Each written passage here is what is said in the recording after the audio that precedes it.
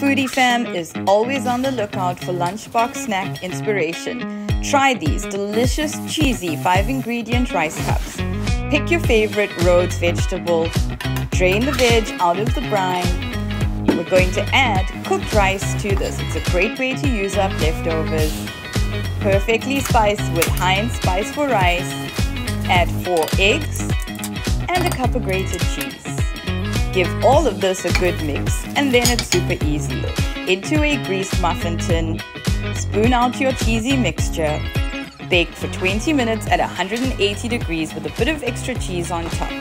They come out golden, cheesy, delicious and packed with veg. These make a fabulous lunchbox treat for kiddos and they keep well in the fridge. Let us know in the comments if you've tried it.